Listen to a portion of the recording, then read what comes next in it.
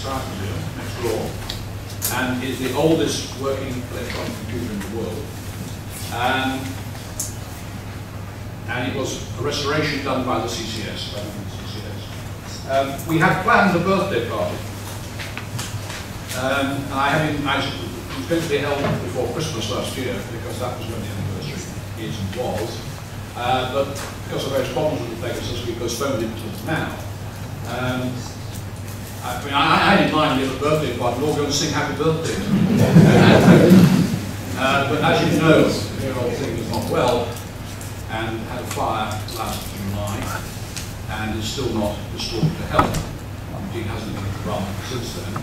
Uh, we are confident, we are hopeful this will get back on the air sometime, but there's a lot of work to do on it uh, to follow the Science Museum's and procedures. Uh, so sadly, it's not a birthday party. Uh, we can't go anyway because the closed. Uh, we seem to be fated with this. Um, but I don't think it's a wake either, because I'm an optimist. I think Len, Len thinks it's a wake, but uh, think. Um, but it's, it is unfortunate uh, we've got all here for this celebration because we can't actually show you the machine work. Um, main speaker today is Chris Burton.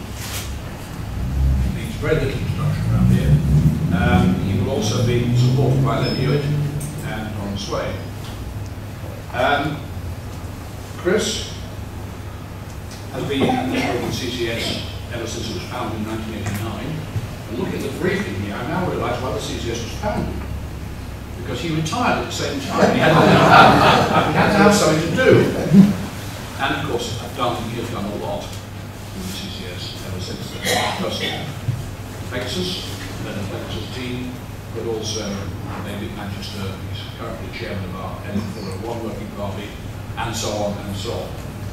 So I'm looking forward to hearing the gospel of Pegasus. Chris.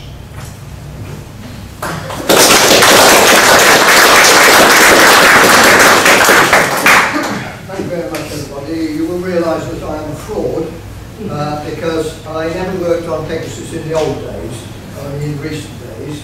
Um, so, uh, you experts who've worked on the machine in the old days, uh, welcome to uh, criticise and cavil at anything I say, but if you'd like to leave it till later, that would be good.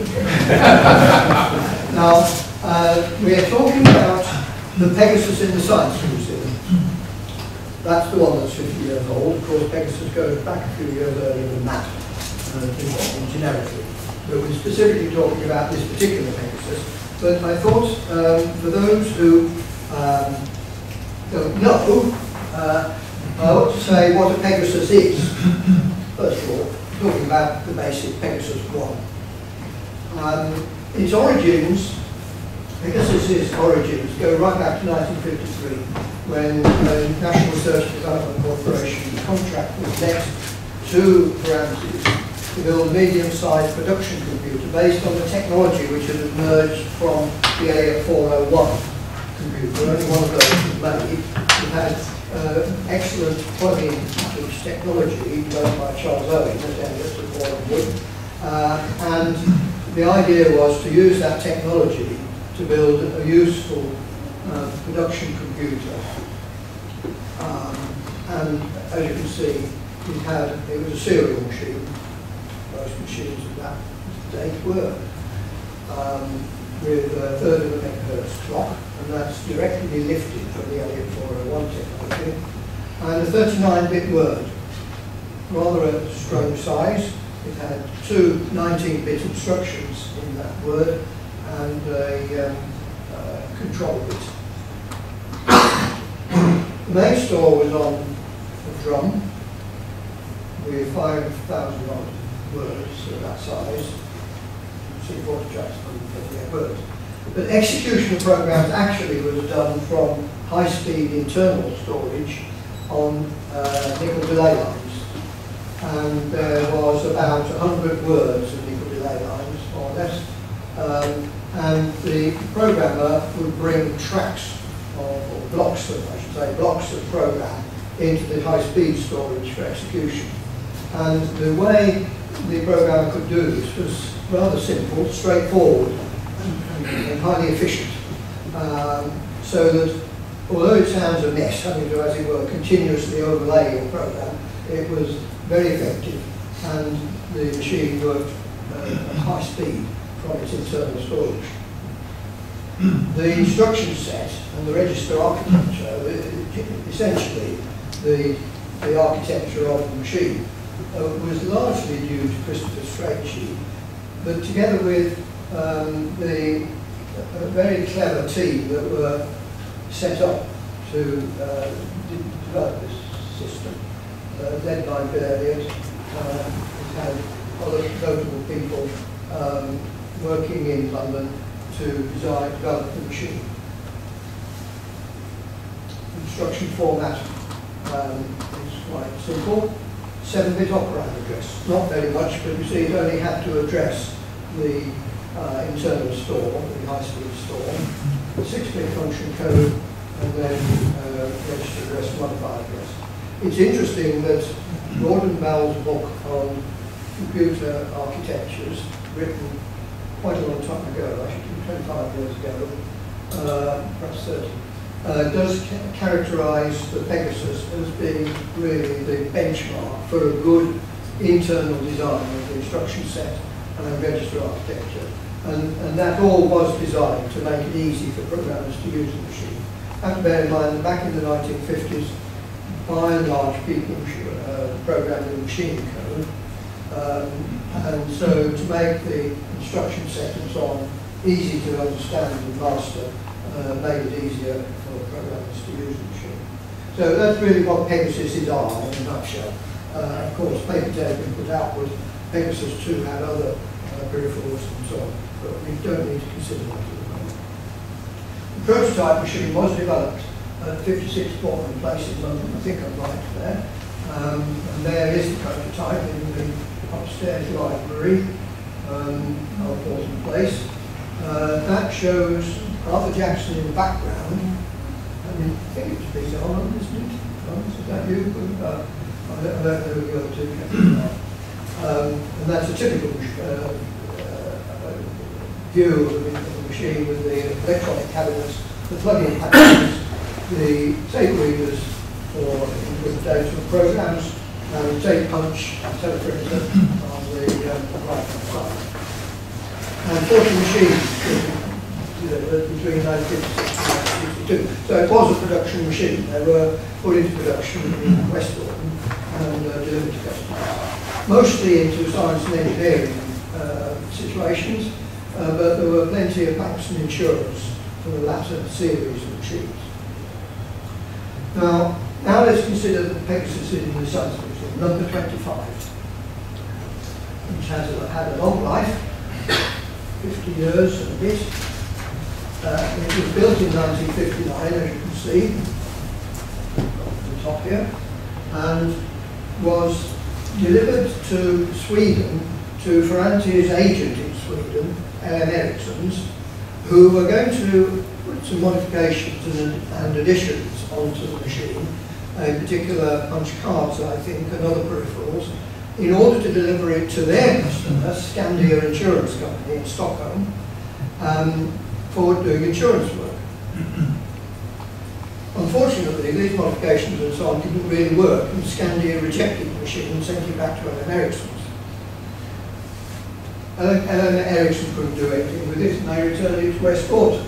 So it had a short holiday Stockholm, uh, and then came back to West Gorton with modifications in it, um, and there it languished on the uh, commissioning floor, um, where it was used, I mean it was a second-hand machine essentially, but it was used for testing peripherals and helping to uh, do sort of workhouse, workhorse jobs, checking things out to add to the machines which are the new machines being created on the production line. And so it languished there till 1963. And I'm not quite sure of the details here, but uh, at, at, that point, it was handed over to University College London for doing work, and I don't know what the financial situation was, whether money changed hands or whether it was a donation. But essentially it came from West Gorton, Manchester to London, to University College London, and there it resided in a basement and was used for crystallographic analysis. And essentially, it did that for 20 years. It was sufficiently reliable, it, was maintained, someone came in and maintained it occasionally. It was sufficiently reliable that they could load it up with data morning, leave it running all morning, and go in at lunchtime and see the results on chat, on tape, and, and was doing crystal, crystallographic analysis um, from X-ray data and so on. And did that very happily down in the basement for 20 years. Um, but at the end of that time, someone must have noticed that there were big electricity bills. and, uh, and it was decided that really it wasn't good value for money uh, and it had to go. Uh, it was offered to the Science Museum, and my understanding was that at that time there was no room for it. and uh, it was offered to the Computer Museum in Boston, in the States, who said they would take it. But David Dace, the director then of, of the West Gorton part of ICL, uh, said, oh, my dear body, we're not having a machine made here in Manchester, going to the States in those circumstances. And uh, essentially, it became the property of, of the Science Museum, but located at West Gorton. And uh, we set it up at West Gorton uh, so that it was a kind of museum piece in the factory where it was born. And there it stayed for 18 years um, until it came back to the museum. The rest of the story, part of which you'll hear from Ron. Now I want to just focus on that part uh, with um, some, some outline of what happened. So it was in West Gorton until 1987, but the property of the Science Museum. And it was maintained and displayed there uh, until 1988, uh, when unfortunately the people, the new management at West Gorton said, we haven't got really room for this old monster, send it back to the Science Museum. And it was put into storage in a storage facility in Hayes in Middlesex. And there it languished for two years. Now what I hope you're seeing at this point is a history of a machine which is one of the first portable computers. it really is moving from place being assembled, made to work, dismantled, put into store, brought out again. So now the, the Computer Conservation Society was formed in 1989-1990, and the first task was to resurrect the uh, get it out of storage into the so-called old canteen, uh, which is now on the site where the IMAX cinema is, uh, and there with the Computer Conservation Society got it working, had open days and so on. Until it got to the point where the Science Museum said, we can't have this old computer in the old canteen, we're going to knock it down, you'll have to move it. So it moved yet again to the Blythe Road store in West Kensington, uh, which is the overflow store for the Science Museum, and there it was really put in store, but was kept going uh, until it came into the computer gallery in 2001 and uh, from there it's now on display. So it really is a peripatetic machine. It's been everywhere. Um, going back to 1959-63, the five years when it was made in West Gorton, shipped to Stockholm and brought back, um, there's a shot of the commissioning floor at West Gorton. You can see as rank on seri rank of Pegasus is being made. I don't know whether one of those is number 25. Um, but uh, it was uh, it was quite impressive to see these things being built um, and assembled here on the commission floor and made to work. Uh, the three gentlemen on the right-hand side gazing at it are uh, production men and inspectors, and they don't really know anything about it. They're just told to build these big things uh, with uh, lavender painted uh, Valentine Special Lavender number two painted panels, lovingly rubbed down between each coach, made at the Park Royal uh, coach works. um, I'm going to jump now because I don't know really anything about what happened at the University College London until the end of its sojourn there, uh, when there was a farewell party to say goodbye to it. Les Manders uh, is the gentleman who was a freelance Pegasus maintenance engineer. Um, over the years that he was in UCL, uh, he would come in every month or periodically and have a look at the machine, keep it, make sure it was in working order, and repair it if, if necessary. Uh, sadly, has died, uh, but he kept that machine going at UCL for 20 years. Colin Merton um, is uh, associated with the machine from the early days in NRDC as a programmer in Ferranti. No doubt he's looking at the engineering plan to see why the parity switch is being switched on. Um, it then left College, and you can see it coming out of the basement here, um, and uh, being put on the lorry to ship it back to West Gorton. Um, and here it arrives in West Gorton. Um, those who uh, may recall, that's the big tower block at the rear, and on the right-hand side is the research and development block with the uh, computer rooms it. Here's machine being taken out and brought into ICL. And here the machine is what, uh, 24, 25 years old. It's halfway through its life. Uh, and we built a little room in the big computer hall at West Gorton. Um, it styled hopefully in 1950s style with these open fluorescent lights and green paint and so on, and um, got the machine working there again. Um, and it was it was a time when we were involved with making computers with integrated circuits at very large scale and so on. So to get back to this serious engineering it was quite fun uh, because, you see, a lot of valves requiring a lot of power, 15 kilowatts of three-phase power, a great big motor alternator for driving the door. Heat from all that sent out via a refrigeration system through pipes to the outside world, and heavy cable was joining the door. So when he came back to West in 1983, engineers who were used to delicately fiddling about with small um, printed circuit boards were faced with some serious engineering. uh, there's the motor alternator, that actually isn't a West Gorton, you see. Um, and there is the high voltage power supplies, on top of that's being chopped off, but you know, again um, sort of pre-war television transmitter technology. And we got it working again, and in 1984 had a welcome party. And here's our Judith Village in the front here, who was responsible for using the machine when we at University College, and uh, Jenny Village sat next to her, and then you may recognise some of the other faces at the back. So quite a good uh, party we had to welcome the machine back, and took the opportunity to be publicising for West Gorton um, that after 25 years, this, this machine which was made on the site comes back to its home and uh, is um, visible again. Mainly it was uh, my colleague and I who maintained it, because we, we were actually employed with real jobs, so we had to do this in spare time uh, to maintain it. And we might get a telephone call saying we've got a very important visitor coming to look at the machine, can you switch it on? So I have to apply to my manager and say, can I have a couple of hours off? And of course, no, wouldn't it. It was fun working in those days. We, would, go and switch it on. And uh, in the time that we were running in those three years, we switched it on 50 times, took 110 hours, visiting, uh, demonstrating to vis visitors and so on. Um, and we got a bit of publicity out of it. Uh, there is your speaker uh, under the label Old.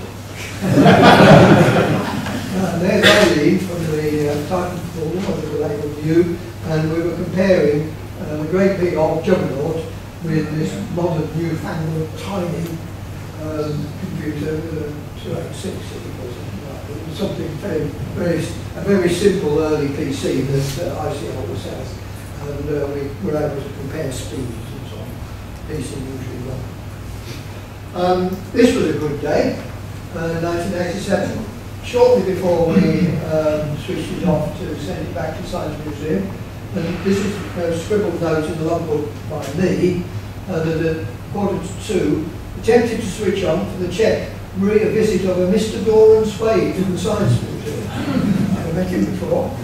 Um, and the, and the, he, we wanted to see it working. and, uh, he said that he just tripped out his on. So, but I think we must have got it working eventually. And Doron showed us the machine and uh, could see what was going to come back to him. Um, as I said, in 89, 90, the conservation society was getting off the ground. The first, the Pegasus Working Party was led by the late John Cooper, and uh, we, we assembled the machine in the canteen here on the Science Museum site. Um, and uh, an important point at this stage was that we volunteers in the Computer Conservation Society were being indoctrinated on the way museums work with curatorial practices. Now, if, if we engineers had just been let loose on making this machine work, then that's what we would have done. We would have gone and made it work so we could get paid all that on Friday. But you see, that isn't curatorial right way to do. What you do is make sure you put it right and get it working without damaging its authenticity, its integrity. And so we all had a lot to learn about how in extremis you wear white gloves when you handle objects. You don't do anything which is going to mislead the scholar in the future about the kind of materials which we use on the machine because you have to the wire with a Teflon coated wire or something like that. Um, and, and generally how to behave with respect to these objects which are held, which are held upon trust for the nation, Actually, they're, they're not our objects, they belong to the nation forever. Uh, so that was a very interesting time when we were all learning uh, how, how, how these things were done. And I think at the same time the Science Museum was learning about how volunteers could be used, volunteers with expertise on these objects, uh, but who, uh, and, and knew, you know, anything there was to know about the object, uh, but ha had to be um, inculcated in, in ways of work, working together. Um, so it took 12 months of careful reassembly and recommission, cleaning and uh, so on, and uh, getting the machine going. And John's legacy actually is this successful synergy that we have between volunteers and the museums. And it's not only here at the Science Museum, but the Manchester Science Museum as well. Good, good rapport between volunteers with the expertise and uh, the, the um, science museums with the responsibility. Now, um, here is the machine in the old canteen, and I won't dwell on this because uh, Len will be saying more about it. Um, and in 1996, we were on the move again, the canteen was being demolished. And I think that last sentence uh, we will always remember, that when this was proposed that we move the machine again, we sort of said, oh no, not again. And Tony said, Tony Sale said, we can't guarantee that we'll be able to keep it working. Every time we move it, dismantle it, reassemble it again, it's inevitable that things break. And so we had to say that you know, the more this machine moves about, the less chance will work. But um, then we'll be able to take it. Um, now, at this point, what I'd like to do is show the old Pegasus film, which many of you, I think, will have seen. An eight-minute film made in 1955, um, and uh, essentially a sales uh, film for the Pegasus, which you will gather, I think, looking at the film, probably barely existed at the time the film was made. So I'll see whether we can get that. This A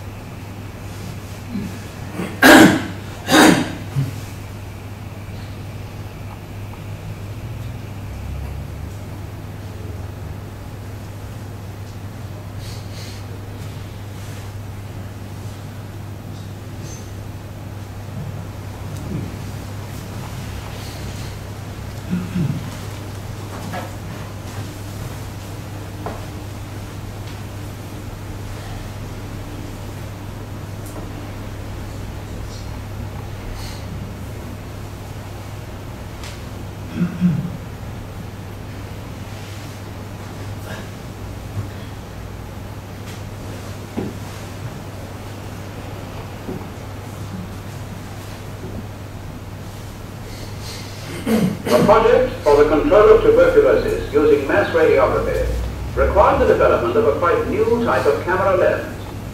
Working at an aperture of f0.7, this has 16 separate curved surfaces involving 8 glasses, each of which has two distinct characteristics. This gives 47 variables altogether. It needed all this paperwork to compute this lens and required three years of laborious calculation by the designer and his two assistants. A calculation which could now be performed in a matter of weeks with Pegasus. The Hulton Readership Survey yields 13,000 new questionnaires every year. The resulting information is published as 32 complex tables. At present, it takes six weeks to prepare them. Pegasus will do it in a few days. The speeding up of calculations made possible by Pegasus can save lives. The complicated stability calculations for each new type of aircraft can now be completed before the test pilot is asked to take the plane up for the first time. The facility of computers for storing and quickly representing great quantities of information opens up totally new fields. For example, air traffic control or weather forecasting. Information can be processed so quickly that useful predictions can be made before the weather has actually changed.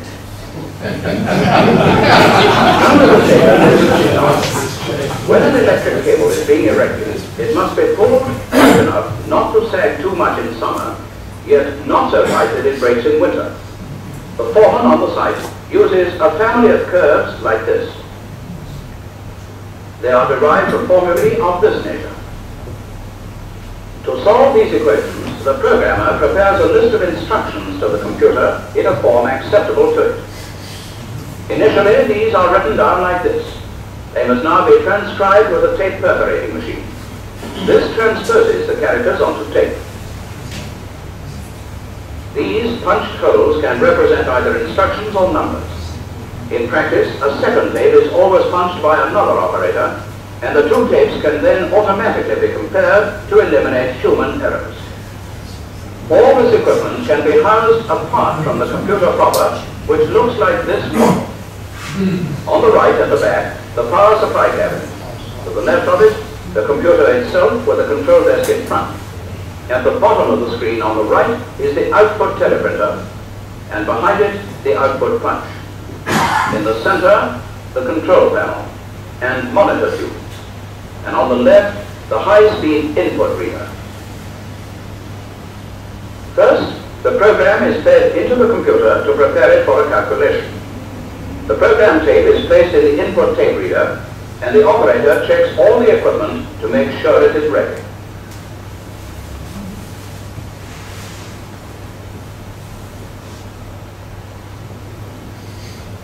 Now we can start. This makes the machine read in the program of instructions and the numerical data to be worked on.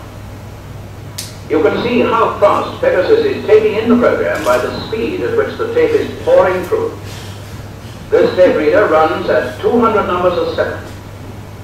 These holes in the tape are converted into electrical impulses. They come up on the monitor tube like this. Let's stop it and look at one word. These impulses are now being operated in the computer. This is made up of a large number of basic units. They plug in and out quite readily for servicing. The socket it plugs into looks like this. These sockets are all interconnected at the back.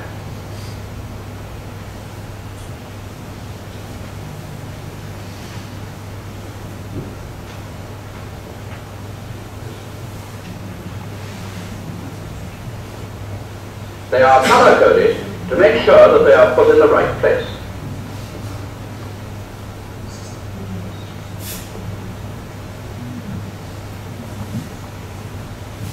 These packages are mainly of five basic types, all assembled on identical blanks. These four are manipulating circuits. And this is the fast storage unit. The construction has components on one side and soldering connections on the other. This system allows for dip soldering and for printed circuits.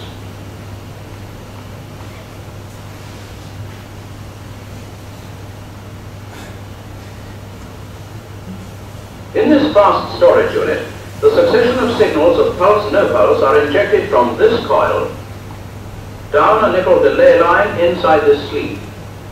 They travel along the nickel line and are picked up by this coil. At the start, the signal has this shape. After passing along the line, it has become deformed. In this form, it is accepted by the pickup valve and amplified, passed to the middle valve and reshaped, and then passed back to the driving valve again where it is re-injected to the line. In this way, the word can be stored until required. Then, it can be obtained every time it reaches the driving valve again. That is, 8,000 times every second. Pegasus also has a main store of very large capacity provided by this magnetic drum unit. This part is the driving motor. Under the cover is the magnetic drum itself. This is coated with red magnetic iron oxide bonded in resin. The drum rotates at 4,000 RPM. Here is a stack of 10 read-write heads. They are fixed close to but not touching the surface of the drum. Here is just one single head taken out of a stack. It records the pulse, no pulse signals and also reads them back again when required. The working gap at the top is only a thousandth of an inch wide.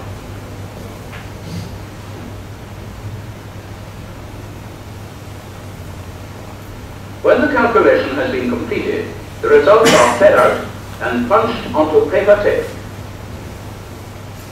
To make it possible to read the answers, the tape moves on to this unit, which senses the holes and operates the teleprinter.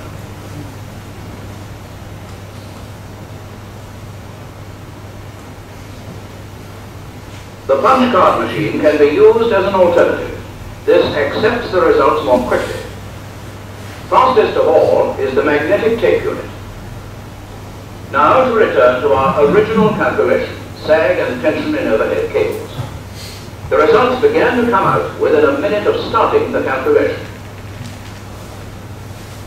Pegasus is completely automatic. It can be programmed to give a signal when it has completed any stages of its operation.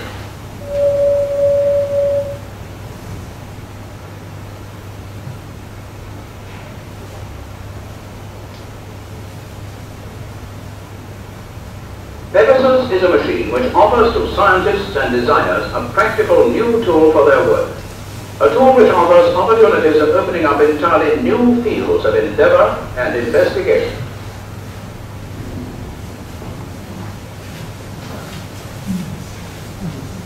A triumph, it's lasted 50 years.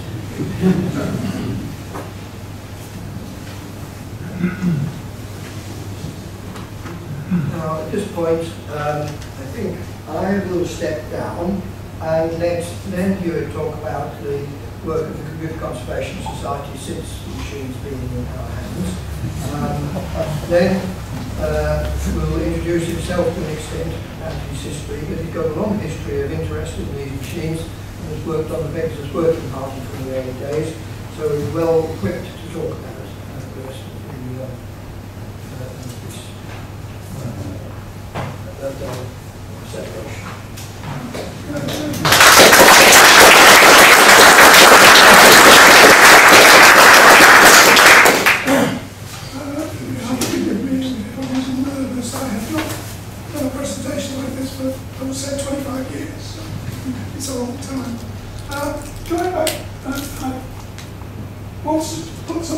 history. I joined the RAF as a uh, national serviceman 1950. Uh, I did the usual GVK tests, if people remember those. And they decided that I was going to be uh, a ground radar mechanic uh, with a six-month course, training course at Kingsbury. As I'd been a, cl- a clerk in industry before then, never even built a, crystal set. This was quite a change. However, what happened is the government, at one point, I'd been in four or five months, the government decided to extend national service to two years from the 18 months was not I joined. They also decided to pay regulars more money and they offered me a three-year uh, signing to sign on for three years and I would get a ground radar fitters course which lasted 12 months and that was 12 months full time so that was my background without choice. Um, when I, uh, after I left the Air Force in 1953. I joined Marconi installing radar on rotor sites. And that was a wonderful job, but it, uh, meant I was away from home all the time, paid extremely well. Um, people like were on cost plus 10% in those years. That was great. Um, and then in 55, I had a, a young son, and uh, my wife wanted be home, so I joined Ferranti as a computer maintenance engineer. And I worked on uh, the uh, Mark 1 Star, uh, commissioning it at Gemco, Navy Row, uh, Chanter. In actual fact, I just realised this. Uh, that's, that's me commissioning uh, with Bill Wallace, who's one of the commissioning engineers on the Mark 1 Star. And that's uh, Ron. John, who was a, also a, an engineer at Ferranti's, uh, who stayed on the bottom of only stayed there for two years. Um, after two years, I went to work for, I learned that uh, ICI was by uh, Pegasus, and I uh, went on to um, join ICI. And their Pegasus was slightly different than uh, any of the previous ones because it was basically the forerunner of the commercial Pegasus. Uh, it had a three-phase standard Pegasus system uh, with a separate magnetic tape bay, five Burris tape units, one of which and a separate three-bay converter with Hornet carbine, cloud punch, light printer, etc. And one unit was switched between the converter and the uh, on, on the computer and you were able to uh, load the data on, on a card, which uh, ICI organics have been using for donkey's years, so they're long in punch cards. All our sales forecasting done on punch cards. All our accounts were done on punch cards. So uh, uh, you then fed the, uh, put that tape on the uh, on Pegasus, and you were able to sort and organise with all the things that you would do. Um, uh, system ran for 12 years, there's about 3,250 hours a year, 40,000 hours, and uptime about 98%. Uh, we never had to replace a fuse in the power supply, only the occasional valve. Most often they were false this machine and the museum machine, which you can go with, were extremely reliable, and nobody could say, you know, they, they, they weren't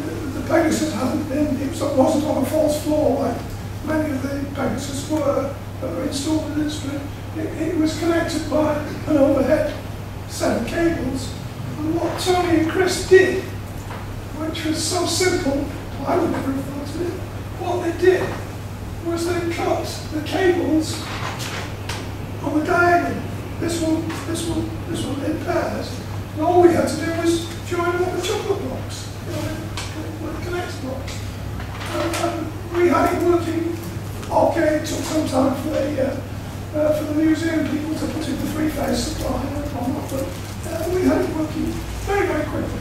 Very quickly. So uh, that was thanks to the way it was uh, uh, dismantled and shipped. Okay. Uh, there's uh, Derek Milledge, Martin Wingstead, who's back to us, Peter, and Doug Brewster. here. Um, and we, we we down every, every couple of weeks, ran the machine up, got it working. And what, what, what we did at that time, as we couldn't demonstrate it to people unless there were occasional demonstrations of special visitors to the Science Museum, um, what, what we tended to do was try and make it work better. And what, one of the things we did was uh, Martin and Derek a, a lot of this, I of it too. Uh, uh, we, uh, one of the things we did was, was to use the margins control to uh, reduce the HT voltages and check for faulty packages and valves and stuff like that. So we made the machine even more reliable than it was when it was at, uh, uh, when it was in the old canteen. And that stood us in good stead for, for, for did. That was, uh, the BBC came, I don't know who this guy is here, but he was one of the presenters. He came to make a, a, a film of, uh, of, of the machine in way back in uh, 1999. Can't remember what it was about, and I don't think I ever saw it, but uh, I don't know if it was. Um, there's Derek and uh, Martin uh, are uh, looking at packages and watching the, the console. Um, that's, that's. Okay, uh, in 1999 we, we had to uh, move it.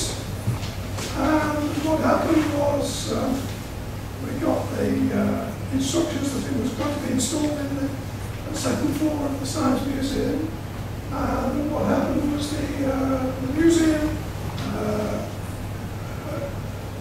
got hold of uh, uh, foremen, the contractors, to actually supervise it as uh, none of the people who worked on the machine were uh, able to take responsibility for its movement. Uh, you know, we, because we weren't working anymore, we, got a company behind us, they had to have somebody. So foremen took the job on of uh, uh, the managing the room in actual fact. But uh, myself and Chris and Peter uh, did all the work preparing the drawings, the wiring diagrams, all that kind of thing.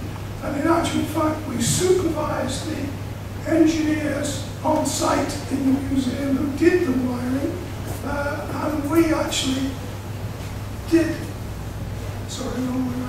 Uh, we actually uh, did the final connection to the turner blocks, Peter and myself and, and, and the other people, because uh, that way we knew it was, um, you know, it was correct. We hadn't just relied on anything else. And in actual fact, although we, I think we had one minor wiring mistake, uh, in general, it's, uh, it's fairly well. Uh, I, I had to leave in December. I delayed my trip to uh, America far too long, and uh, uh, I left it, and, and Tony and, uh, Chris, I think, completed it. Um, but the museum were very kind. They, uh, uh, although they paid foreman, foremans a, a fortune, I think that guy was on something like 300 pounds a day or something uh, they did actually pay us, uh, the working party, uh, for the work we've done in moving it into the museum and the working part, and we contributed that to, to the CCS.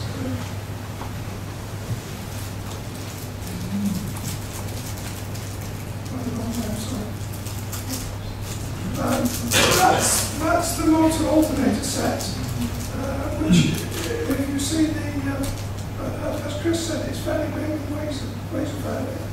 But it's never given an ounce of trouble. That's the, the, the, the picture I took of the museum on the uh, day we had the grand opening. Um, the actual alternator is actually behind these red cupboards back there, behind here. Um, it's hardly audible, uh, at all uh, when it's running. Um, you hardly. Above the noise of the museum, the museum is, is fairly noisy anyway. Uh, but uh, they didn't actually build the system quite as we would have liked. We would have liked to, instead of having these these bays here, and the one on the other side, we would have liked to come to the pillars what we wanted was room to have a table because the big problem with, uh, with working on Pegasus is there's nowhere to work. a, it's not very bright, light, not very well lit, and it's, uh, there's nowhere to put something down to. We, we up with that for having it there. It was wonderful have it. Um,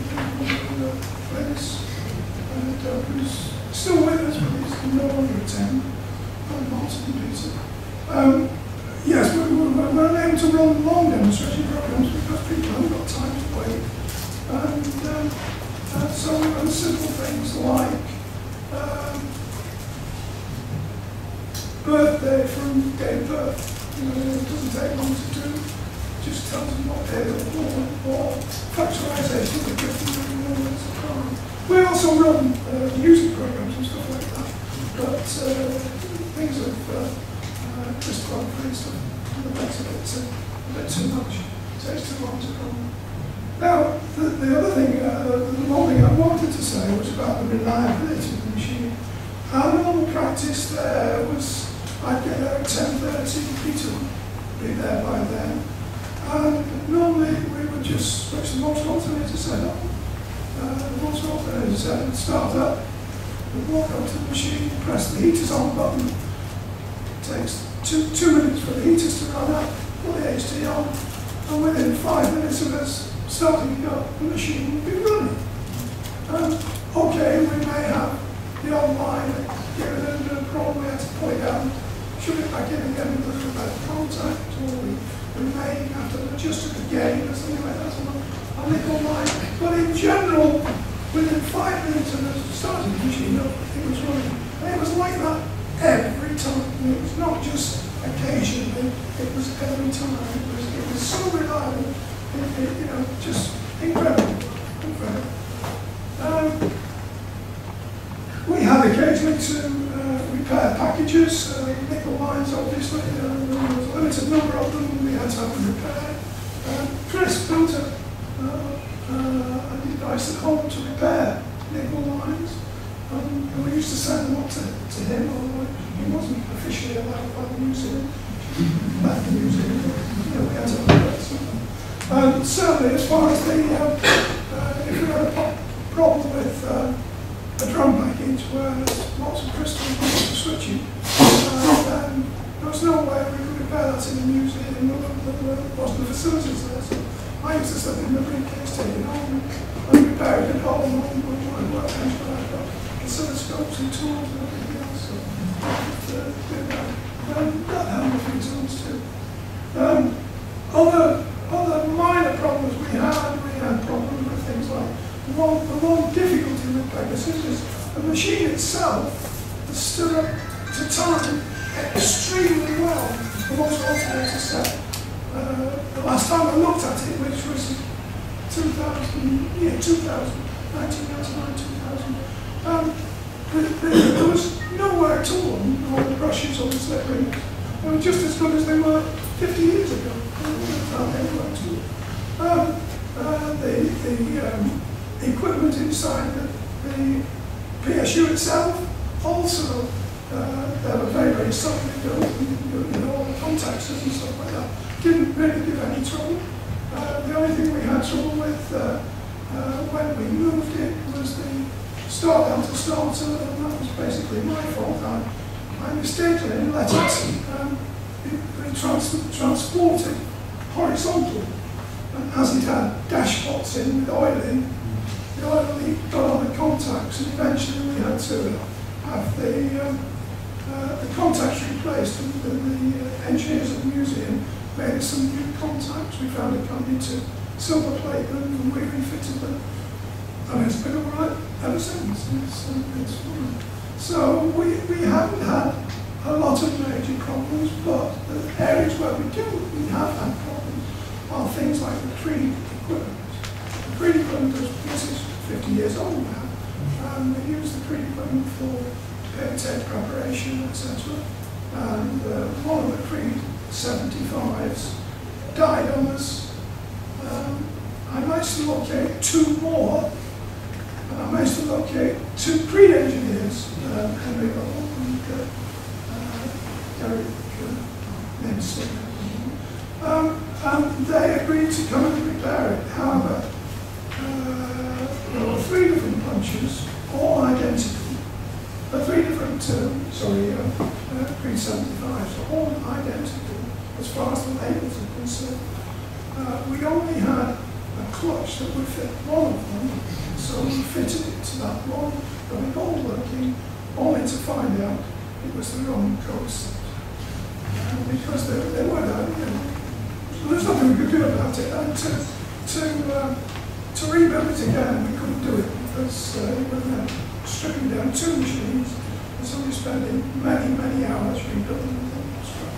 Fortunately, we had a, uh, we had another uh, tape editing, piece of tape editing equipment, which consisted of a PC, uh, uh, a serial photoelectric tape reader, and a serial high-speed punch, classic punch, and a reader. And, uh, and we, we, we have used those during my.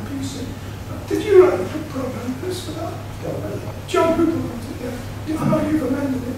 Uh, but, uh, so that, that, that, that is still working.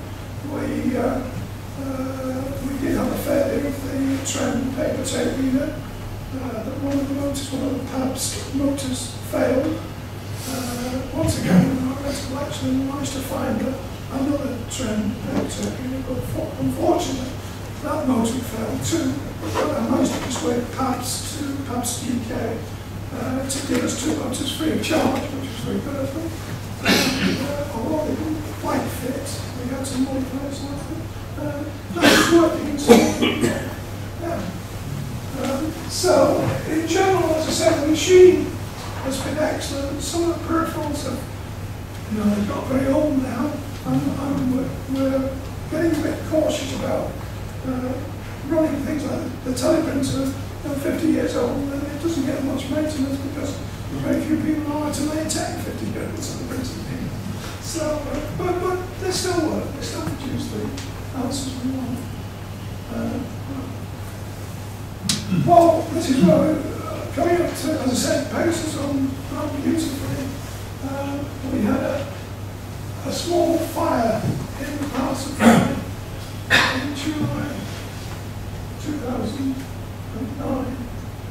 Um, and this, although the museum went into panic almost immediately, we had to find, uh, inside, when, they installed the Pegasus in the museum, uh, in the overhead ducts for the supply on the, uh, on the computer, they put uh, smoke detectors, which is very sensible. But of course, what happened, first we knew there was a problem, A was the machine tripped the HT that. But we didn't know what had caused it uh, until the people in the control room came down and said, there's a fire, there's a fire. But in actual fact, there was a little boy who had been watching the demonstrations and he told his mummy that there was a fire. Hadn't told anybody else. seen the smoke coming out and told him else. Uh, and it was rather interesting that um, when, when the people from the, the control room and some of the some of the management came to the Pegasus, I, I, I was I went into the back of the supply unit to where the smoke had originated from, and I was standing here. These people were standing where, right, the back of the. I don't know what they expected when they thought it was uh, know what. Anyway, um, the, fire was was not uh, very serious in actual fact. I'll show you. That's this is the area that's set on fire. What, what these are? These are the margin control pods which were on, on this type of Pegasus, not on the other. And on this type were, were motorized, so you could, you could control them from the front, front panel. You could reduce the minus 150, 300 to what supplies. And uh, this was the wiring to, to this loop here. Went to a tank lock here, you can see that actually bits of papers that. Uh, the, the, the uh, wires are identified. And, and, and that, that was before, and that's, that's the fire. What happened? These, these uh, six uh, connections here are the minus 150, 200, 300 volts, uh, go and return to the margins pods. And um, uh, what happened, we believe, is that some dust and fluff collected under this area here and that possibly was all this lot was removed when we installed the machine in, um, in the old canteen. And this, this, this lot was very, I don't think the margin pots were not, Chris me I wasn't there, um, the margin pots weren't working and we took the whole panel out and had it uh, uh, cleaned and sorted out by the museum staff in those days. They had people do, do that kind of thing. They don't now. And um, they, um, uh, and it was put back. And possibly it was put back, there was no wire uh, left loose. There was not in any danger until you got a lot of fluff and we got a bit of leakage from some of the capacities. Uh, and uh, so I think actually spontaneously burst into flame. Of course, as soon as it did so, uh, the light fuses broke, uh, blew two, two fuses and they didn't supply blew and HT was switched off and that was it. The fire extinguished itself and it was all over in about two minutes, but the repercussions are still going on. We haven't been near the machine since that day. Uh, so whether we ever will it again, I don't know. I'm, I'm a pessimist. Uh, uh, unsure uh, of what is going to happen in the future. Um,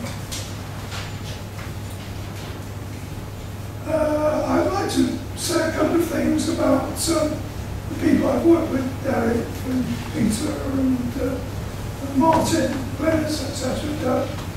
Uh, how much help they've been to me uh, uh, over the years. I've been doing this job now since 1997. Um, and every year I've also spent the winters in America, so that's meant that a certain amount of that uh, work has, has fallen on Peter, who's always stood by me and helped uh, tremendously. Chris, again, has helped me. Uh, whenever we've had problems, Chris has always been there as a, uh, a wonderful person to talk to about a problem or discuss technical matters with. Uh, the help he's given me is, is, is countless, countless. Um, and from the museum, in general, we've had nothing but help from people like uh, uh, Rod Smith, Rod Skidmore, uh, Tim Blythe, Doron. Uh, all these people have been extremely helpful to us. Um, the only thing that uh, bothered me about the museum was its bureaucracy. You know, to get anything done at the museum is it is extremely difficult, and still is, still is. But uh, on the other hand, we have had this wonderful experience of running this machine for, as I say, I, I've been associated with Pegasus for 12 years at ICI, 20 years here. That's a hell of a long time to be associated with uh, machine. But I've enjoyed every, every minute, moment of it, and I hope, I hope it will uh, go on. Uh, looking back at the experience with Pegasus, what strikes me was its incredible reliability. The Dart designers seem to use all the components in their centre of the tolerance band. The slow run-up of the valve heaters prolongs the life of the valves. The protection circuitry also worked extremely well. In general, a well-designed, well-engineered machine, a credit to its makers.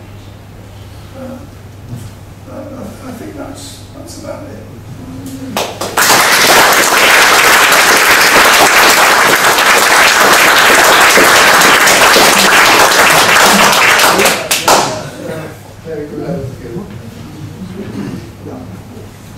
Um, before uh, Doron is going to give us a, uh, an address regarding curatorial matters, um, the things is that we wanted to have this uh, party where we went and had a look at the machine in action.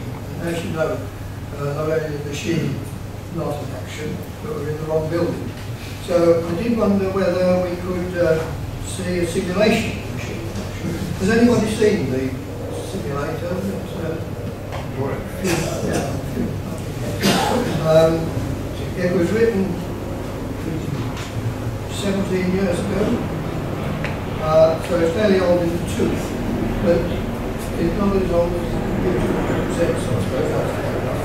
I don't think it's ever been put on public display in this way. So keeping our fingers crossed, we'll see whether we can have a quick tour of the simulator. Uh, what I wanted to do, however, was to first of all um,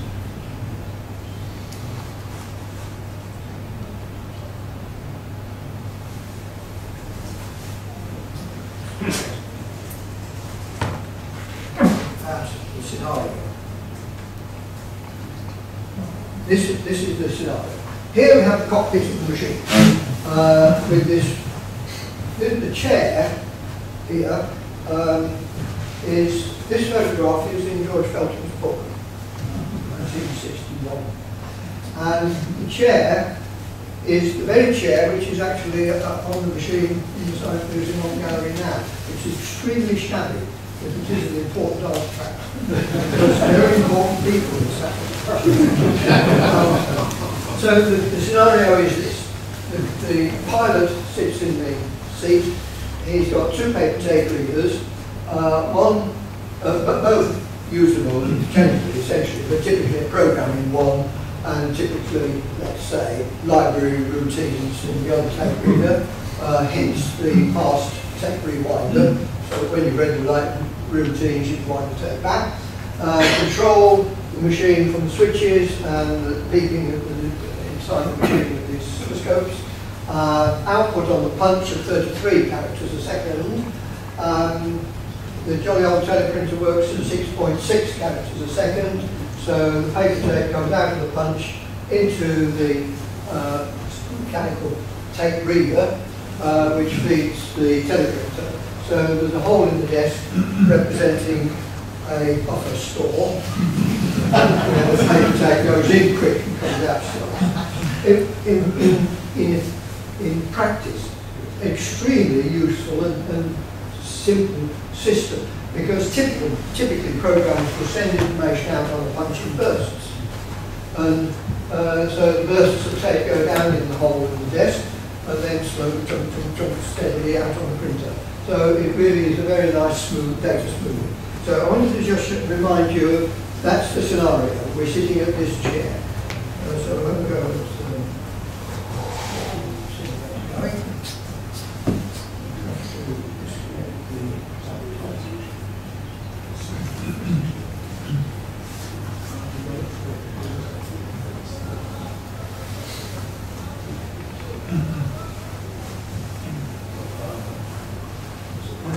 someone say it was a grainy photo. Too enlarged. So it says press any key. and simulate. Here we have the cockpit. You can see the two tape readers here. Uh, over on the right hand side, at the top is the waste bin where we dispose of old paper tapes and below it is the tape punch. Now, regrettably, this projector trims off the last pixels off the screen. So I can't, the, the tape is coming down here of the. Uh, so you'll only see a few um, holes in the tape. At the bottom is the teleprinter, um, and in, in the centre, of course, is the control system. Uh, my hand, the photograph of my hand, movable. Um, so uh, there are important things you can do, like you don't want to have the uh, monitor too bright, so you might want to turn it down a bit. Or, and certainly you want to improve the focus, so that the control knobs can do that and switch from uh, character format to uh, order of instruction form. So all the con controls by and large work, the turn and so on, select accumulator and so on. Here are all the hand switches, which we can turn on and off. And the control switches here are some neon lights. Incidentally, up at the top here are lights to show that the mains is on and the alternator. I got those switched on before you came so the power is on this machine, and here the lights the geometry. Um, finally, up here is well-known little um, cabinet with drawers with the tapes in, um, and you open the drawer and get a tape out and so on. Um, and uh, the, the, all the libraries and so on. These are very long drawers, fortunately. uh, and uh, now, uh, in this machine, in the Pegasus, of course, as you all know, there is a set of initial orders on the drum. Um, so, and, and, these are the orders which interpret uh, the paper tapes, and the, the, instructions punched on paper tapes and load uh, programs into the memory and all sorts of uh, utility operations they do. Um, and many of the initial orders uh, do useful things like print the date and time and serial number, the, the, date and serial number uh, on the teleprinter, so that when you run the program, uh, you can um, uh, you've got a record on the teleprinter of when you did. Uh, and that, that particular initial order is invoked by the directive D, D for date. Uh, and if you put D on the paper tape, the the. Uh, it can also be invoked by D is the fourth letter of the alphabet, so four in binary um, is D. And we can invoke the initial orders by going to start and then run. Whereupon uh, the punch punches some tape, there is a 77 stop saying that it's halted. And if we go up to the tape reader, you can see the tape punch, you can see a bit of tape that's being punched. I'm sorry you can't see the rest of the tape. Um, um, I'll press the run up button. Lo and behold, it's the 17th of May 2010, and this is the 28th program we've run. So that's, that's the kind of thing the initial orders do, better clearly hand switch. Um, and so typically running a, oh, notice by the way that in here, in accumulator 7, there's some numbers or instructions that appeared.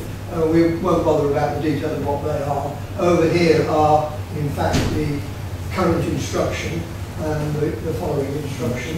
Um, that is actually a 72, which is to do with getting data off the Dropbox. Now, what we'll do now is run a demonstration program. And this is the kind of thing that Len would be doing on the real machine. Uh, he would get out, let's say, the fast factors program, get it out, carry it in his hand, and put it in the tape reader.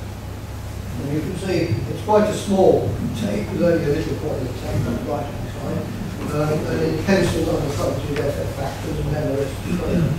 So we'll ask the initial orders to load this program. So we'll go to start and run.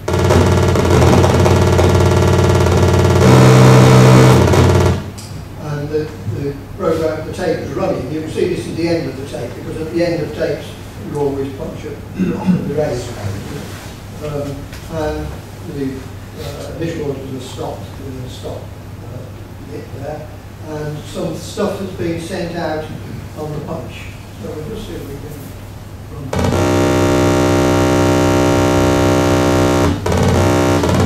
run. This says the name of the program is factorised from hand switches and you enter it at um, block 2.0. What the program is going to do is actually factorise a number that you put in by manipulating the hand switches. So, for example, if I want to enter, find the factors of the number uh, 737, I go 7, 3, 7, and that will factorise that number. So we'll get the machine so uh, we're going to stop it, and uh, run again, and there. Now the machine is running. You can't hear anything. You can tell it's running, however, because both these neon lights saying I'm executing an A instruction, a B instruction, an A instruction, a B instruction, and indeed on the monitor you can see it's in a program loop of some sort. Well, the program loop is actually looking at the hand switches. So if we choose a, number, we choose the same one, seven, three, seven, and then you terminate with it's punched out. So,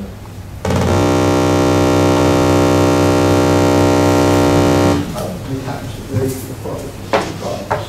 So it's much more fun if you put it up bigger. So, uh, so- Nine nine nine nine eight three. So if you had nine, nine, what was that, nine? Four nines, eighty-three. Eighty-three. Eight. Eight. Eight. Eight. Eight. What next, two, three? Three. Three. And this one well known if it never works.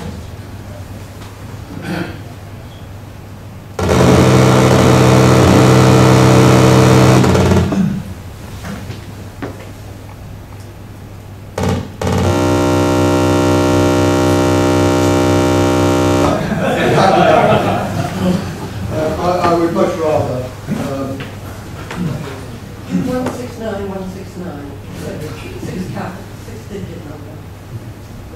Two, three digit number with details.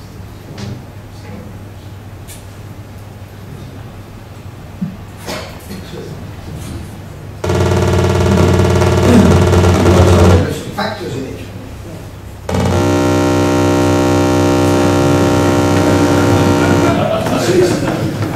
Um, so that's something which the, um, the uh, customers can see working on the machine and can appreciate. Um, but uh, bear in mind they are behind the barrier and these results sort of come out slowly out of the temperature as well. So it's a, it's a little tricky. Um, I'll put this, uh, roll this tape up and put it back in the drawer. And uh, my last. So why we do a lot on this one, Chris? is- Again? is what, Um, actually, when we are demoing it, is to do three digits repeated, like one six nine, one six nine. And what you've got is a number by a thousand, a number times a thousand one, and then all get seven, eleven, thirteen factors. And it's something you get the kids to think about. Yes. Yes. Um, uh, I'd like to know the prime number uh, run by Sir uh, Toscanes, by Derek Milledge. Um,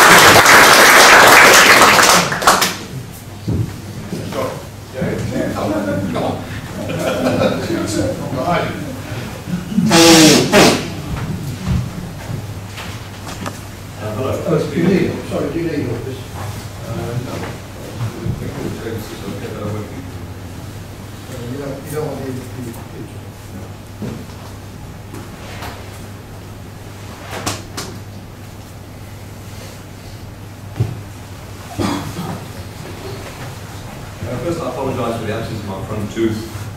Um, I don't normally walk around like this.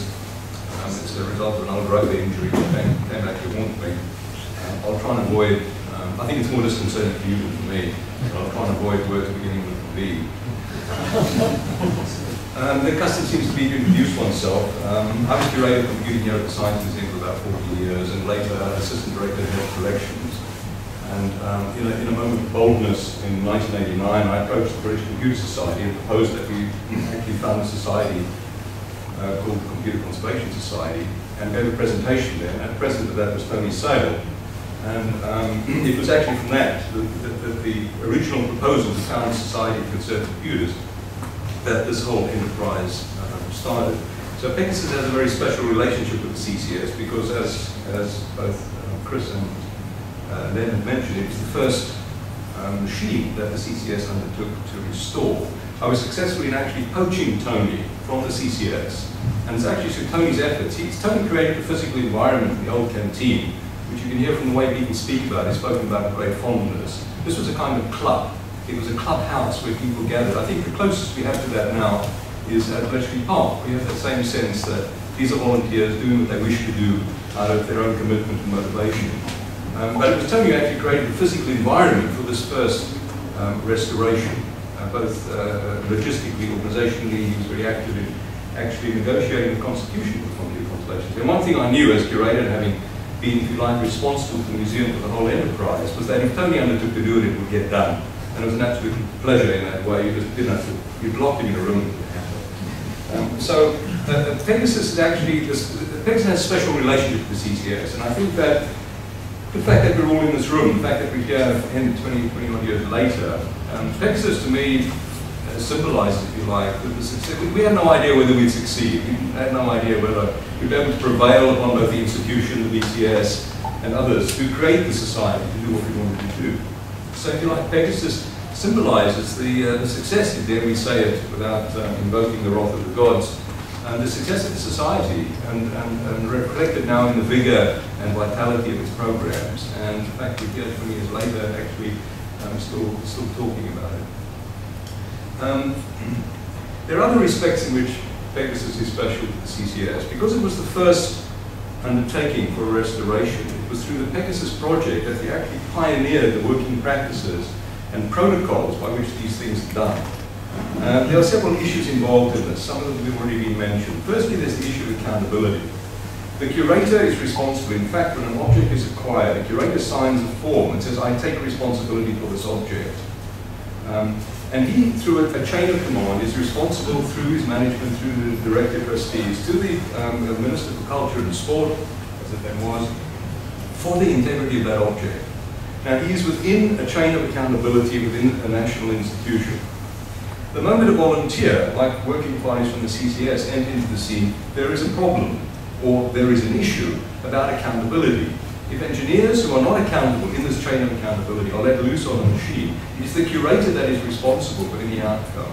So if you like, me and originally Tony and subsequently all the, the, the chairmen of the working parties, I was at the interface of how to negotiate to extend the chain of accountability from curatorial protocols to a group of volunteers who were not um, subject to the same chains of accountability. And Chris mentioned this about, I think he mentioned the word indoctrination. I'd like to think it was slightly gentler than that. it was really to reconcile two fundamentally different cultures. One is that of preservation and, um, if you like, passive preservation. The model for curators and conservation is archaeological. The idea is that there is a rare and scarce fragment of evidence that is lost in the mists of time, which reflects an entire culture. This, if you like, is sacrosanct. At center, the center of museum culture is the primacy of the original artifact. In the case of industrial objects, the situation is very different. There's a vast amount of information. Many of these machines are the living memory of the original pioneers and practitioners. And so there's an adaptation to two separate cultures. The engineer who takes professional pride in being able to fix a machine regardless. Use a paper clip, use a piece of string, beat the deadline to get the machine working. This, if you like, at times conflicts with the fundamental archaeological model by which curators and particularly conservators work, and that is to say, preserve at all costs the integrity of the machine. The reason for this is that at the center of this, of this um, practice is an article of faith in museum culture, which says that the object, the artifact, is the ultimate evidentiary source. We do not know how these machines and artifacts will be interrogated in the future. We, the, the, the, the questions that will be asked of these machines is in definitionally and in principle unforeseeable. For example, we have a machine we wish to restore to working order. Um, there is cloth bound and rubber insulation which has decayed. We have a choice. Leave the machine in a non-working state or replace it with PVC. Now, it is possible that in years to come, in some unforeseeable and unforeseen way, somebody will not be researching that machine, but be researching, say, the introduction of PVC insulation in electronic equipment.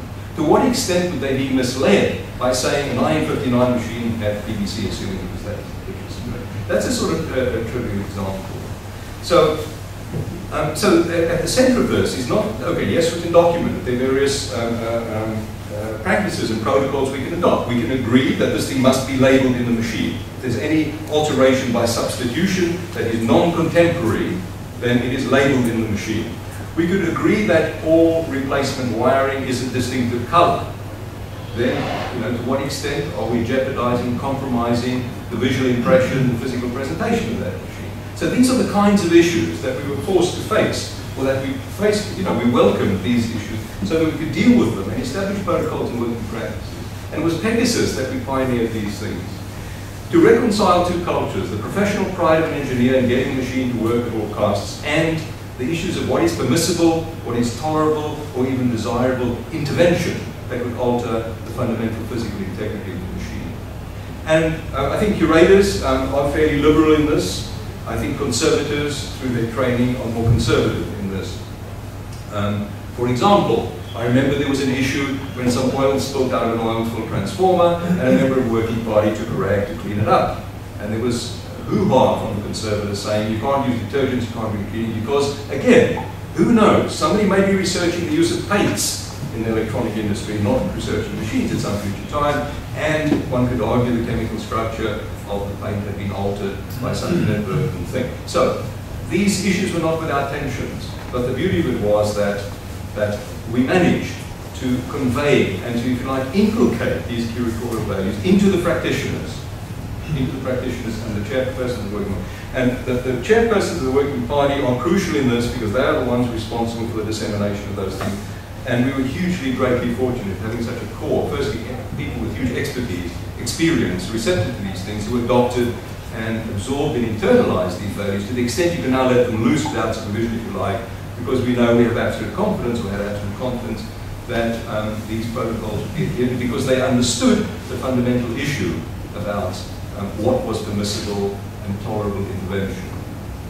Um, so, uh, so Pegasus, uh, if you like, was part of the, the arena, uh, the test bed um, in which we pioneered these fundamental working practices.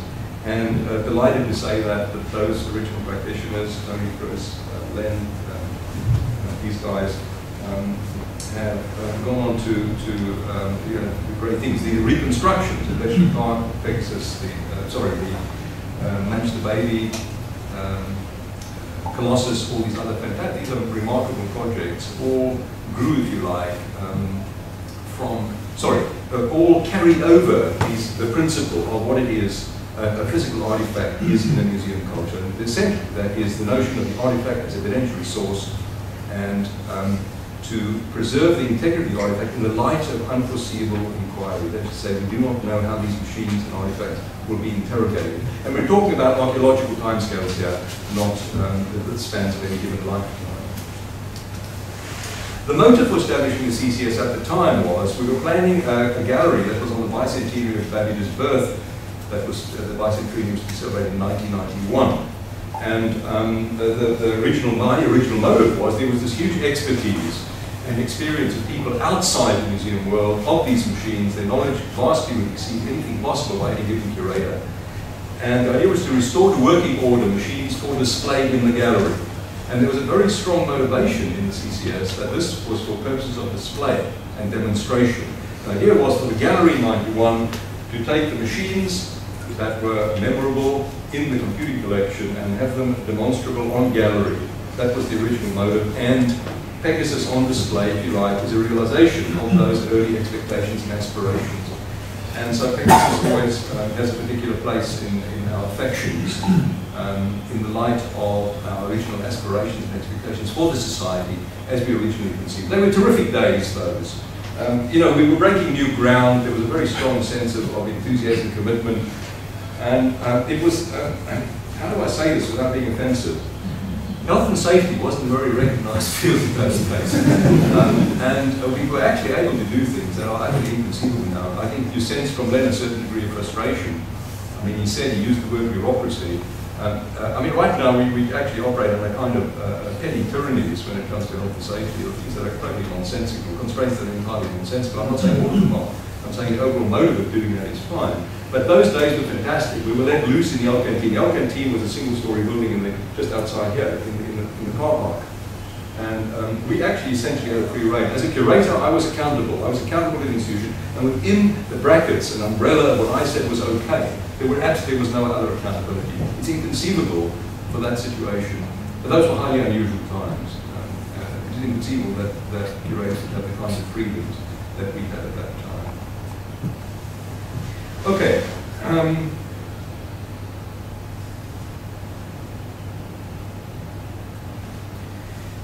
uh, restorations involve hugely high levels of commitment, of motivation, of expertise, of endurance, of persistence, um, and of enthusiasm. And um, were it not for the fact that almost the vast majority of these efforts are voluntary, these things would be entirely unaffordable. Um, there is barely a, a, a, restoration or a reconstruction in particular that does not have a set of heroic tales of ingenuity, of challenges met, of obstacles overcome. And um, if we step aside, and, and, these, these, you know, we applaud, and so we should. I mean, these are remarkable efforts done through enthusiasm of people wishing to share and, uh, sh and share and disseminate their expertise and experience. And, uh, these act as generational bridges, if you like, um, to new generations that get an opportunity to see these a, it's, a, it's an absolutely wonderful enterprise. But when we step back from that, we can ask, perhaps a harsh, it sounds harsh, but it is not. We can ask, what is the justification for these, for these um, efforts? What is the justification for these projects? How do we justify the historical and social utility? By utility, I mean in the economic sense of what makes a thing desirable to possess? That is economic, the economist's definition of, of, of utility. What makes it desirable to have a working machine? How do we justify the historical utility? How do we justify the social utility of these machines? In, in other words, if we had to convince someone hostile to the enterprise, who did not share, was not part of the charmed circle of practitioners and, and, and engineers and pioneers, how do we convince them that this is a worthwhile thing to do? Um, and that a museum should extend an umbrella of welcome to host efforts of this kind. And um, nobody's actually challenged me to, to um, to justify it. But I think it's a useful exercise to do, uh, both in anticipation and also to remind ourselves actually what is of value um, to history, to the community of practitioners and to museums about restoring machines at all. So really what, what I propose to reflect on is actually uh, why we do this and, and, how would we justify to the outside world, people outside um, the, the, computer profession, the computer profession, um, as to why it is this is desirable Um, firstly, historical utility. What value to history is having a working machine compared to a non-working machine? Now, given that almost the vast majority of artifacts in museums are passive and non-working, what is, what is the particular value of having a machine that works? Um, firstly, the machine, restoring a machine draws you into a level of intimate detail with its technology that is not achievable in any other way that isn't. In principle, you could, but never, but one never does. And so that has a number of spin-off values, that level of technical detail that the demands of restoration actually um, oblige you to do. So first is the issue of documentary completeness. Um, and a very good example of this is Elliott 401, which was uh, another machine that the CCS undertook originally in the old canteen to restore. It's currently in Blythe House um, in, in, temporary suspension while we get the working parties go again after the health and safety pilots have their say. Um, now, th there was a situation where there was a hard drive that was part of this machine with no documentation. The content was not known and there was no metadata and this was a machine one wished to restore. Was imperative to actually bring this machine to cover. This was Tony and Chris, and you're talking about very high levels of expertise, made the read heads, made the instrumentation to read the bit stream off the hard drive, fed it to the PC, analyzed its structure, and re-established the data and the metadata. Um, uh, sorry, that wasn't the example I was but there's an example where technical knowledge arises from the attempt to restore, which moves on the object. So even if nothing further happened, there is value in that exercise for machine holding The example I had in mind in the first was the 401, because that was an early one 401. The 401, when, when it was taken to Blythe House to restore, the working party found that the documentation, the wiring diagrams, did not correspond to the object they had. And anyone in the industry knows how this can happen. There are modifications that are done that are not documented. There's versioning problems between what, what version of documentation you have with which model of the artifact. And so, um, even if that machine ultimately doesn't run, and of course we hope it does, um, there is a situation where, um, so what was happening is that the, wiring diagrams were corrected by doing point-to-point -point, uh, uh, tracking of the wiring to actually establish that the documentation did conform to the artifact. Now that, that, just in historical terms, that is a valuable exercise in itself. So these are kind of spin-offs from the original thing of being drawn into a level of intimate detail of the machine by the requirement to get it to work. There is issue of verification, assuming the documentation does conform to the object. It eliminates any doubt that this might be the case. So there's an issue of verification.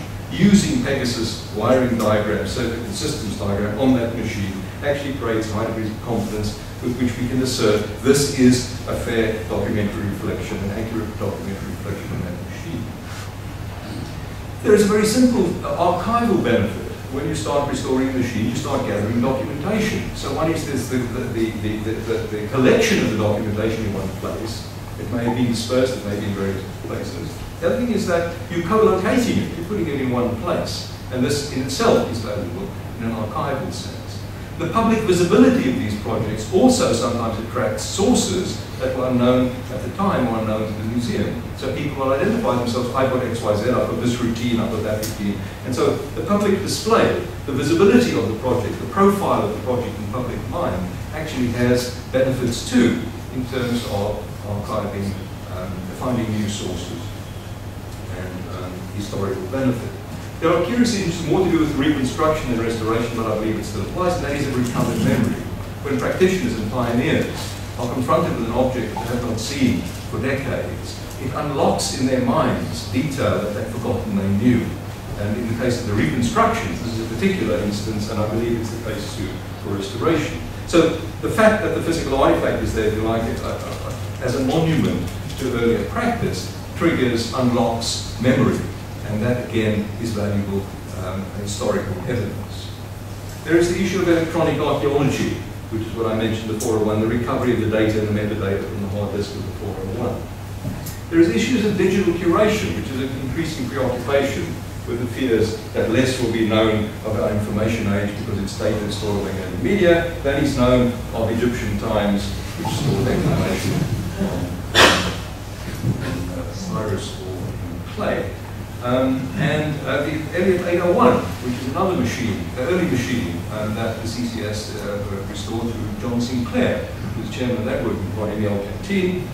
Um, and there, there were tapes that had been stored in a garage in their camp, magnetic tapes, 35 mm magnetic tapes that were stored in a garage for decades, and uh, were readable.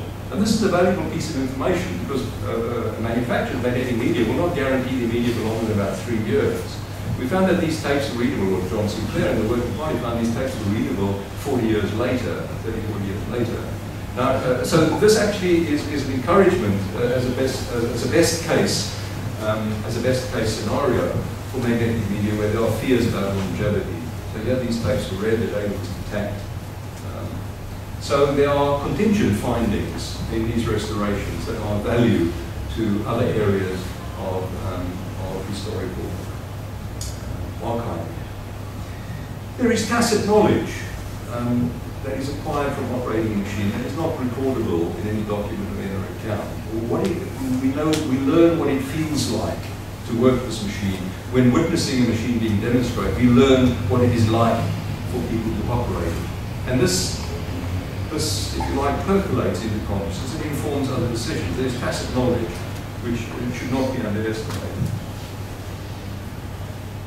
Um, running and maintaining systems, uh, researching the circuit detail and so on, offers insight into contemporary practice and ideas. You have an intimate knowledge of what was attempted, whether it was successful um, in, um, in earlier times. And this is a value in itself. It's, the world did not start this morning. There is a history. And these exercises are valuable because history is valuable. History is important. Um, you've seen a most spectacular and really fine example of a simulation, a mid-level simulation of Pegasus. Um, now, ultimately, um, Pegasus and the other machines, ultimately 40, 50, 100 archaeological type but it's unlikely they will still be running uh, without compromising the physical fabric of the machine um, beyond any acceptable level. So, while we, if you like, in archaeological terms, briefly flare this thing back into life, even if that's 50, 100 years, um, it provides, the physical working machine provides a marvelous way of benchmarking uh, the simulation. You can compare the simulation directly with the live machine alongside. And there was a time when the, the, the Pegasus simulation was running alongside the machine in the gallery. Um, and so that, that um, I mean, Chris is a terribly modest guy, but that simulation is a, is a massive accomplishment in terms of representing ways in which machines can be preserved. If Turing was right at all, the actual physical implementation of the machine in a particular generation of technologies is irrelevant. It's an accident of the time. That the machine is defined by the, by the logical rules of its operation. And here with simulation, you have the possibility of migrating from platform to platform, and actually, you, you, you're preserving the machine by preserving the rules of its operation. And in fact, because museum culture seems to rely so heavily on permanence of substance, that is to say, objects decay at a very slow rate, so they have the illusion of permanence in relation certainly to the life, our own life expectancies. There is the idea that somehow things are permanent, and that software is impermanent, is ephemeral, where in fact, there are pieces of software written in the 50s that are still running on five generations of hardware later. So you can invert the whole thing and say the non-material thing is actually what is permanent. And it's actually, this thing's just shedding platforms as it goes. And kind of inverts the, the whole, uh, the, the, the, article of faith of museums, which is based on permanence of substance. Um, so, um, simulation actually, and that is a fine example, the fact it can be done, and has been done in this way. Um, you can interrogate the simulation and get answers about Pegasus that you could address ultimately to the, that you could have addressed to the original machine. So the simulation then, in operational terms, if you like, becomes um, a, a, piece of evidentiary source. And it's a virtual object which you can interrogate for, for physical and operational predicates in the ways that you could otherwise only interrogate the original artifact. And this is a, a, a really fascinating, um, uh, um, this has fascinating prospects, and it's only because there is a working um, simulation of that detail and with that um, uh, completeness and authority that we begin to speculate realistically of simulation really being the salvation of computer preservation. We've spoken a bit about um, historical utility. So those are the kinds of things as to why, how would we justify doing this? What are the benefits, some of them foreseen, some of them unforeseen, about um, what are the benefits to history of actually having a working rather than non-working machine? There's another dimension to the, the, the, the historical utility, the, the, utility of, um, of restoration, that is the social utility of the machine. These projects, if you like social capital, well, they don't like the world because the mix is something we care about something we don't care about. We care about stuff and things, and other people seem to care about money. Um, so social capital is rather uh, conflict of values. Um, it's like corruption, of something pure by markets, but I, am aware that I'm possibly alone, or at least in the minority, Uh, the point about it is these projects create professional readers or pioneers and practitioners to practice and share their knowledge. And that has used social value. And that was part of the original motivation of founding the society, of really proposing that you actually create a computer profession. I was a curator, and typically on a, on a Wednesday, I'd get a call from some desperate person in the middle of nowhere saying, I've worked on this machine for 25 years, they need the space, they're scrapping it on Friday, can you help? And I'd get into a car and go driving in the middle of nowhere, and there's a guy working alone with a complete building full of equipment, and he couldn't, he, you know, he develops attachment, people develop attachment to the machines, they develop a sense and a feel for these things. And um, he would ask, you know, was the museum interested in acquiring it? as I'd leave, there were instances where they tug on my arm and say, can I visit it in store? You know, as though visiting an elderly relative. Um, if ever you want to put it on display, come to me, I'll write a routine for it. And this didn't happen once, and that was part of the saying these people isolated. I mean, metaphorically and literally, they were in the country. They were out there. There were these people isolated, isolated out there with this huge expertise, with huge enthusiasm, with massive knowledge and experience, who had no knowledge of each other. And part of the original motivation actually to say, where is the social organizational umbrella that will bring these people together to share um, a, a, a, joint enterprise? So um, there is social capital in the activity of these restorations through the society. Through the society. Um, historic computing machines are cultural objects. Um, they memorialize by their existence and display contemporary practice and values and this has um, social value. They, the physical artifacts and their monumental size uh, conveys to, to future generations that there was something important, or something valuable, or something of interest here. So these, if you like, are monuments to, to um, milestones. Now, they may not be technological milestones. If you like, what's exceptional about Pegasus, that was a very good example of something typical of its time. You have that paradox or specialist that it's typical. And or what's typical about it is that it, it, it was, it, was out there producing real work um, in a day-to-day -day way. And that people can now um, witness this and somehow sample something, you like, several generations. If the generation is 20 years, we're talking about two, three generations of generational bridges in people being able to experience and appreciate uh, these machines. They have both um, uh, they have both uh, display value, they also have educational value. It is a surprise for people brought up in the modern age that a byte wasn't always eight bits, and that you can have words that are non-integral multiples of, um, of eight or four or two. Uh, and this actually um, is a valuable experience for people to have, that there is a past. It wasn't always the way it is. And I think that's one of the most valuable lessons of histories and museums. It wasn't always this way. And just by being confronted with an artifact, there's the um, Pilot ACE down on the ground floor of the Computer Museum, and we took a group of school kids and said, what do you think this thing is? I don't if you know it's got telephone switches and this wooden thing. And they said they thought it was um, a telephone exchange. Um, so it's very interesting to say, you know, this is a computer, because that mismatch, the defamiliarization of what your expectations are, is actually a huge, of huge educational value. So these things are cultural artifacts, they are monuments to, to the past. And um, they um, are hugely valuable to have there as uh, reminders that uh, things always things always weren't the way they are now. Um, viewing them stimulates new questions, new lines of inquiry, and um, as I mentioned, they act as generational bridges. And finally, in the most trivial way, museums and every, every museum will tell you that having working machines enhances visit, visit experience, and that's not a bad thing it's an exciting thing, and interacting particularly with practitioners and people who have live. Um, these are first generation, Len, Chris, Tony, these are first generation um, practitioners, pioneers, um, and computer professionals. And it's uh, fantastic that the public can have access to these people live on gallery and uh, converse with them. Because the tacit knowledge that comes from that, quite apart from technical knowledge, is of massive and inestimable value. Um, I've spoken about the utility and the benefits um, as though there's no downside. And it's actually quite difficult to find a downside. The biggest downside, I would say, is the question, the, the, the, the issue of authenticity, and that is that through running a machine, wear and tear, loss and disaster, you're compromising the physical integrity of the machine. And this is the biggest ideological opposition to restoration at this time.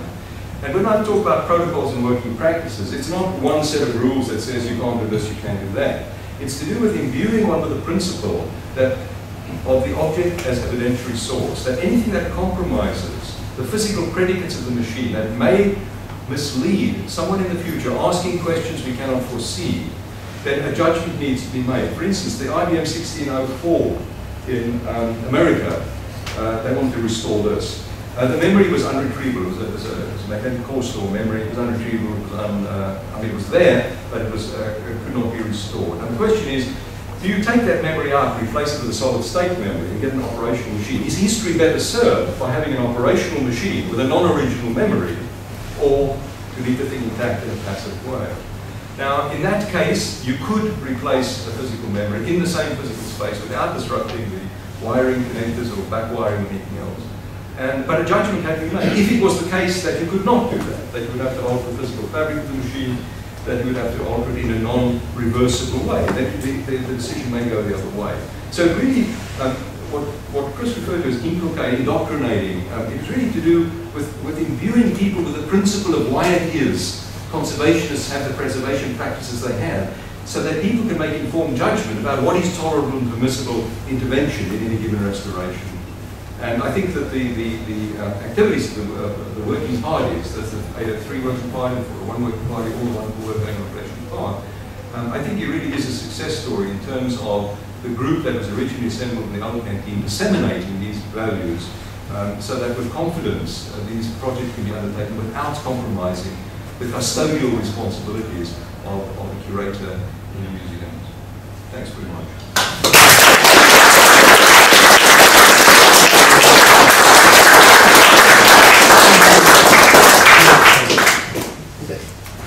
We have at least 10 minutes of questions and discussion. I'd just like to add a little bit to Chris's history of the Pegasus at Wales and UCL. Um, at that time, several Pegasus machines have already been taken out of service. Getting spares was rather difficult. And Julie Village, uh, who owned the machine, uh, whenever she found out about the machine being taken out of service, she would go there with about 50 pounds. The University of Finances were the wide rates. How much of this machine can I buy for this? well, she got a few drums, she got lots of packages, and that way she had spares for keeping that machine going. Um, I used to take occasionally some students down to see this original machine.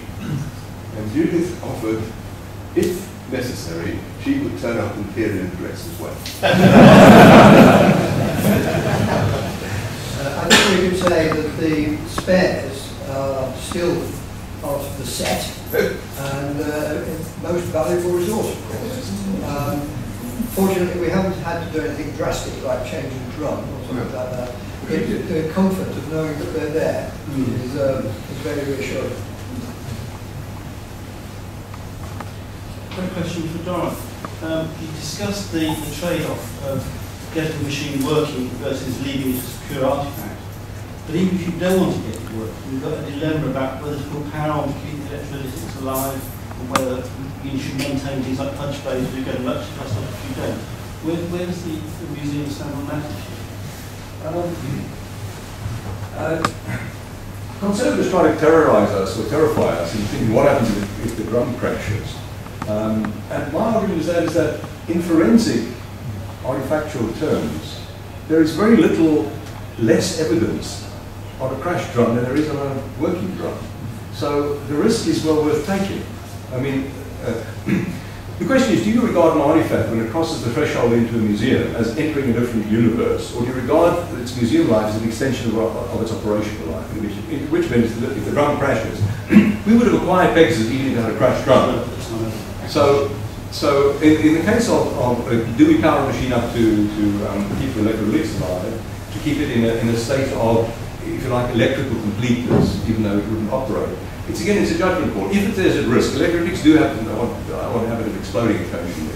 So um, if it was a, a question of, do you want to get the machine to work and you need working electrolytics to do that, then I'd say yes, as a holding operation, power them up. If there's a question of we don't quite know what the future of this machine is and we're foregoing any future possibility of getting it to restore, or restoring it and therefore keep going as a holding operation again. If it's a question of just doing it because uh, it helps and there's a risk of the thing blowing up, again, I don't think there's a set of, of rules that says do this and this. It's a question of, of what predicates of that machine are affected by any action you would take that would compromise any and, and that's, that's the best ruling guideline I can give. There is, of course, a belt and braces situation at Pegasus, because at Manchester, other Pegasus. So you low one up and not the other? No, no, no. that is standing. That is being preserved. Yes. So you haven't got one like that, you've got one like that. the other. I'd just like to ask Mr. Swade, I mean, I think his argument about the archaeological aspect of these things, but I think there's also a converse argument in the sense that this. paintings are restored, textiles are restored. And I wonder what you think about working museums in the sort of Crouch, um, the Mountain Railway Museum, and Shuttleworth Collection. I mean, that sort of, to some extent, argues against your point of view, does it not? But saying that, that random intervention is, is okay and, Well, and sanctioned by the machines to be used because they feel like it's a feeling of what the world was like in those days. Um, I attended a, a conference in Holland, and they had a debate where two museum people were asked to argue the two opposite views. Right. That you best honour the object by allowing people to experience how it works. And the opposite view, which is the conservation archaeological view, which says uh, this is now an object of record and can't be altered. I was entirely convinced by both arguments.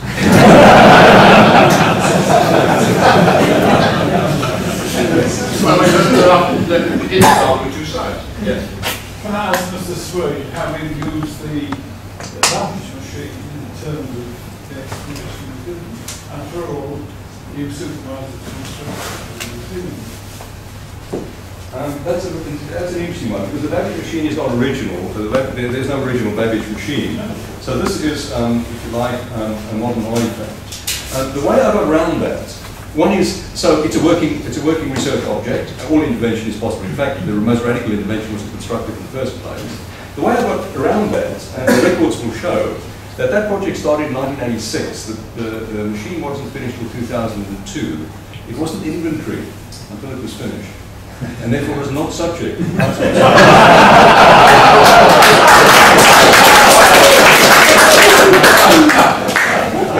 of course, within the six years, there are many rebuilds. Colossus, the Bombe, maybe. They they are, they are rebuilds. They're modern machines. What if you want your new party in a hundred years' time?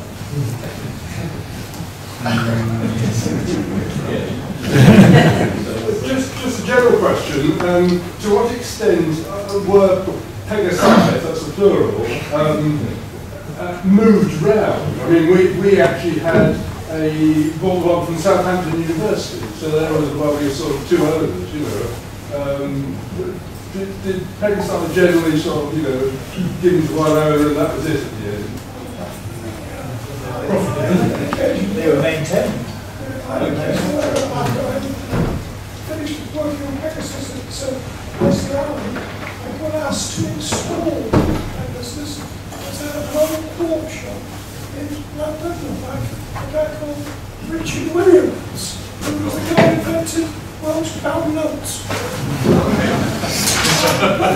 I had a wonderful week in the hotel with my wife and I lived there. I did made all work. How it got on, I have no idea. I was fortunate. Not the job first. I Really? I think there was some, um, um, but this one I think was exceptional. Um, yes, typically they would be removed and then done with some sort of spare, the other one. Um, uh, But, uh, I I don't know of any of it that's saying that it's just been done. I, I can tell the story of the Atlas of Cambridge, which was moved from one building to another. And there was actual real fear it never work again. So three months before we decided to recommission. Totally pessimistic, getting to three weeks. Well, yes. Uh, I'm going to ask Doron, how do you balance the uh, demands of the administrators who want to have stuff in one building and then they want it in another building where there's no space with the damage that that will do to the architects? Um, I think that, that the response to each move is reflected by Chris when he threw his head back and put his hand on his forehead and said, oh, no, not again. Um, I witnessed the move from the old canteen to um, Blythe House, and um, I still um, am in pain shock at what happened. Um, because the, the machine couldn't fit on a, on a single low-loader truck, they parked two trucks back to back with two low-loader platforms. And in the middle of the move, the two platforms separated, and the machine uh, tipped and dropped by a foot, not the whole thing, but actually bits. Uh, and uh, all I can do is, um, is wince. Uh, it was absolutely appalling. Um, how we reconcile it is, is um, Firstly, to challenge the reasons for them doing it, um, in, in, insofar as one can, um, and then um, comply gracefully and minimize what damage one can.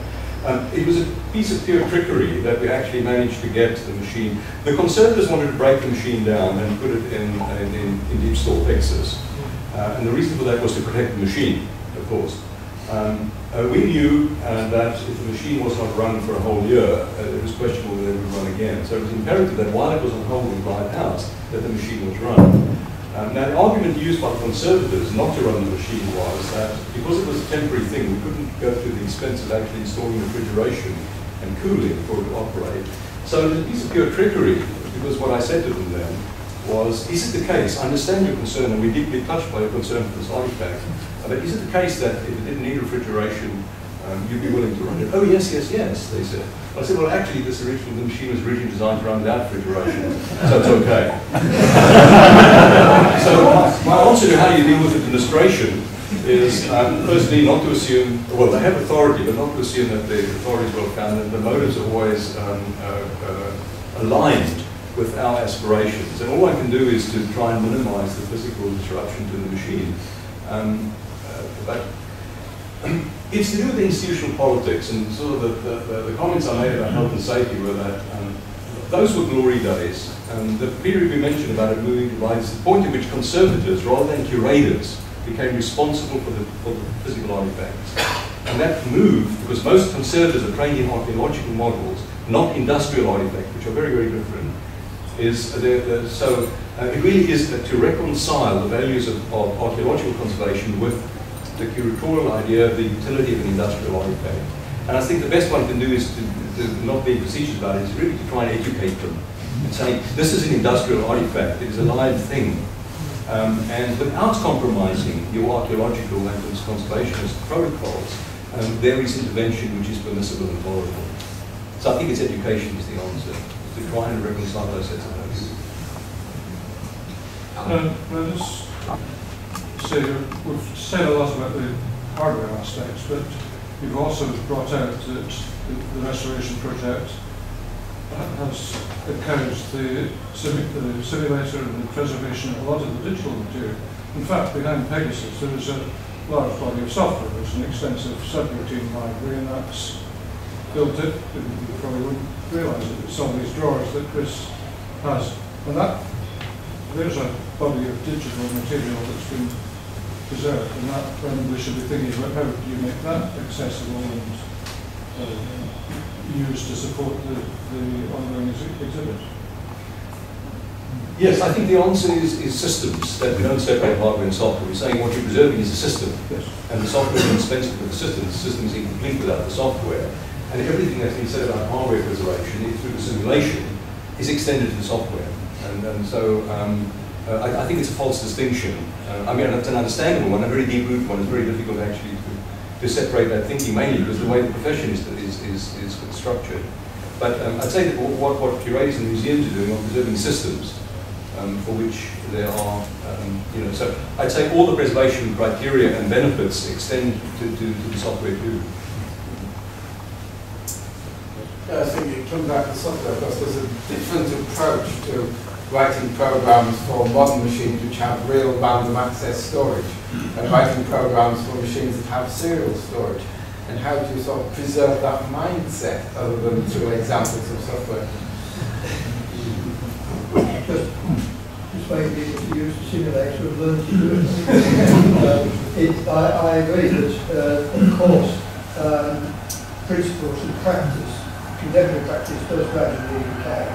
And we don't know what people in Victorian times, for example, uh, thought about steam engines in the same way that we do today. So uh, it can be a loss, but the simulator, of course, is the nearest we can get to preserving that.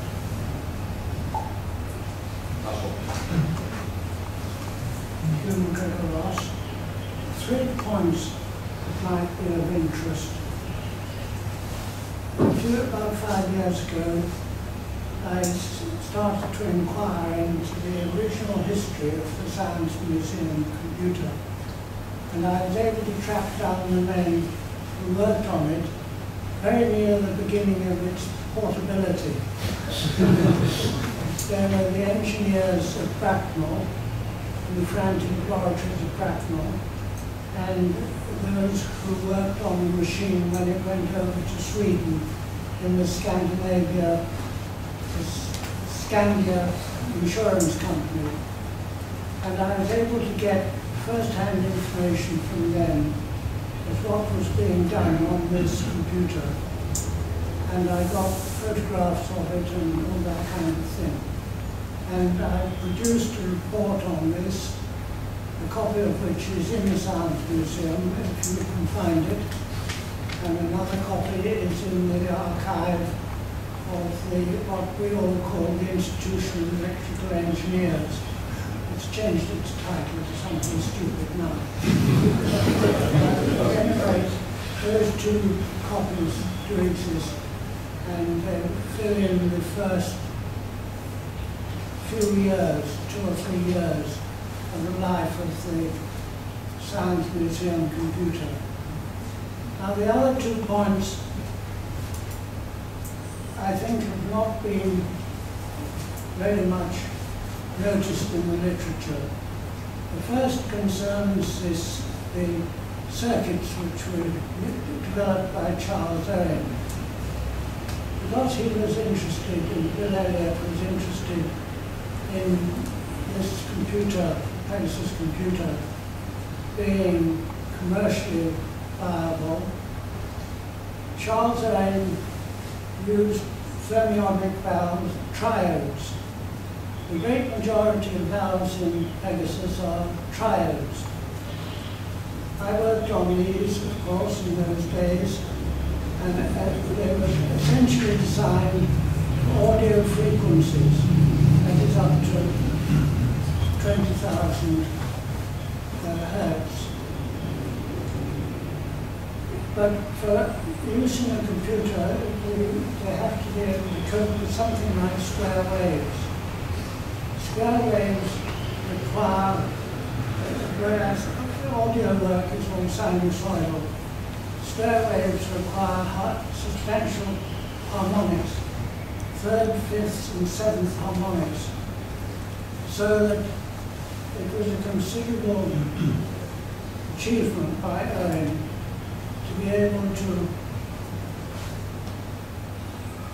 adapt these triode valves to work with the uh, rectangular uh, pulse waveforms, which are essentially a digital machine. I don't think he's been given credit for doing that aspect of the work yet. Now, in Pegasus, the waveforms are substantially non-rectangular. Uh, You've seen one or two pictures already. But what Owen did to make it work properly was that he strobed each pulse with a signal from the magnetic drum. And uh, this meant that he was able to chop out the center of a rather bad waveform. Now this leads to the third point I want to mention, which is the magnetic drums. They were developed mechanically by Brian Maudsley, and as far as we know, the drum on the museum computer i- is still working in its original form. Brian Maudsley looked after the mechanical design of the drum, and it's still running after 50 years. I know some of the time has been waiting in storage, but at any rate, the bearings in that drum are still viable. But the, the other aspect of it is the, magnetic aspect, which was developed by Ian Merry. And I've made inquiries of the, the uh, engineers working on the drum at present, and I understand that that magnetic drum has never been re-recorded. Now this means that this machine, 50 years old, is running on magnetic recordings which were put on the drum 50 years ago. And I think it's very remarkable that they still work, they still function properly. It's also very remarkable that in no time in those 50 years anybody has got the drum and managed to do a great groove, great groove in it by misplacing the, the heads. I thought I'd mention those three points. Thank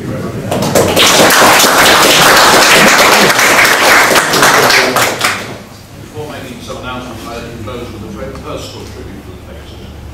Uh, 52 years ago, uh, I was a student at university and I spent a vacation, summer vacation, working for Ferranti. Uh, before I had ever seen a computer, which I was going to do the next year. The following year, I went to work for Ferranti again. Uh, first time was Portland Place, second time was West Gorton. Each time I used Pegasus. Um, uh, indeed, I was uh, helping design other machines with Ferranti on a Pegasus. Uh, that was 52, 51 years ago. I then saw the restoration, um, and it was in, in the old canteen. And frankly, I nearly wept. I wept with emotion, because that was my first machine. I, I suspect that sort of feelings come across you a lot when you see Pegasus as well. I hope you will see it working well one day. We should make sure it is. Could, could I just say one thing uh, uh, in light of what uh, you were saying? Um, I went on one on Star, and the picture you saw of the home so we actually up to the drum area that we were adjusting. The marble star nickel. And the way we found out whether the thing, how close the we screwed them in until we heard them ping. and we took about half a turn and that was it. Of course you you, can't do that with an Los I'll leave you to argue that out later. when the Pegasus went into the museum about the year 2000, um, produced booklet. It was produced about Pegasus, uh, written by uh, Simon Lavington, and it's been re- republished. Uh, Simon's updated it, and BCS is republishing it, and uh, we have a copy. It isn't actually ready yet, but uh, uh, we, are, we have got some flyers here. Now, I'll deal with this later. We have some flyers here. We can order a copy, and we will you do so. Um, so that's that. Um, leaving thing and saying this is the last session of the season for the CCS. Uh, we should start a new season in September. Um, back on September 16th, we have a talk on research machines, that's RM, John Leighfield, who's no less than chairman of the company. Um, and on the 28th of October, we have the AGM of the CCS, followed by something which I think will be rather different. Uh, John Naughton and Bill Thompson, who are both journalists. Um, and they're talking. Uh, and then in November, we have Torsten Zuse, who is son of Zuse, coming to Germany to talk to us. And finally, 16th of December, we have a now popular session on historic computer films. So we have an awesome program for you. There'll be more, of course, in the year, uh, and I hope you'll find it interesting. So, finally, my thanks to particularly Chris, but also then Lauren for stimulating our. I'm sorry it wasn't the birthday party. Uh, I was looking forward to having the shambles around the machine, but uh, not it will, will be to one day. We are, we are. Thank you very much